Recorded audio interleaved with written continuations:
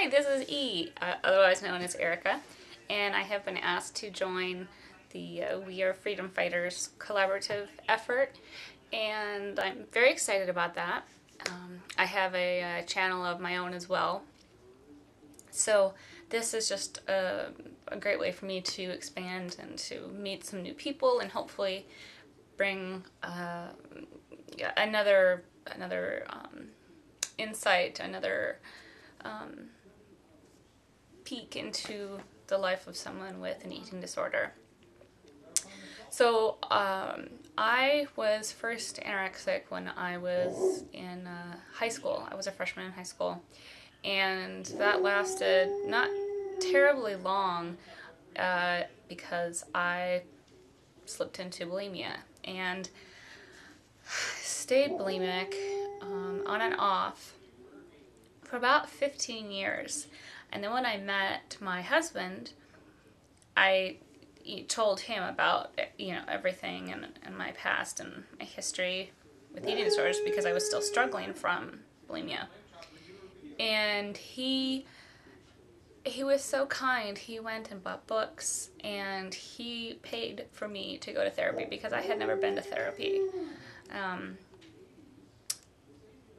so after I had been going to therapy for about six months, I tapered off and I still still use behaviors quite often. But however, they slowly, slowly, slowly begin to just trickle away. And then I was completely recovered for about four years, three to four years, which was amazing because to everyone who says, you know, you can't you can never recover. There's the ED voice was so minuscule and so quiet. I just I didn't care. I didn't weigh myself. I didn't, you know, it it, it didn't matter to me. And uh, then in August of 07, I became sick with Legionnaire's disease and uh, coccidioidomycosis, otherwise known as valley fever, um, pneumonias at the same time the medication for the valley fever is an antifungal and it just killed me. I lost my appetite and I lost, uh, I ended up losing a large portion of weight. Now, I ended up with pleurisy because the pneumonia was so extensive that the only way that I could deal with that pain was to not eat because it was something I could control. I can't control what goes on with my lung. And I fell into anorexia uh, hardcore and um, started having panic attacks and became very depressed and uh, started therapy again, started to see a dietitian again. And I quit for a short amount of time in between because I thought, oh, I'm doing good. I, I think I'm okay. And I lost more weight. And um, that's why I think it's it's you need to listen to those around you also because I, we want to be recovered in a day, and it takes a process. Right now, I am still overcoming it, but I am at a, um, a healthier weight, which is good. It's still a, a challenge, but I am fighting it.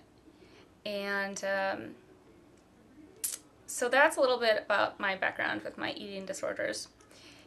For fun stuff, I, uh, have a dog that uh, adopted from the pound, and I've trained her to be a um, AKC Canine Good Citizen. So she's a therapy dog, and we visit a hospice and rehab center uh, once every other week. And I love that. I also have a line of jewelry that I design and create, and that's a that's a very very good um, good coping mechanism for me because it's therapeutic, and there's a product at the end. I paint also. I used to play classical piano,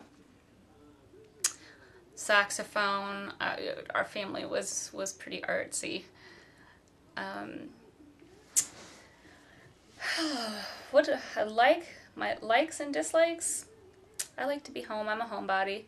I'm not big into going out. We have some good friends and maybe on a Friday or Saturday night, we'll go hang out and do a little bonfire with them, and that's about the extent of it. Um, that's that's me in a little nutshell. So I'm looking forward to um, doing more videos. I will be uploading on Tuesdays. So um, I look forward to seeing you again next week. Thanks. Take care. Bye.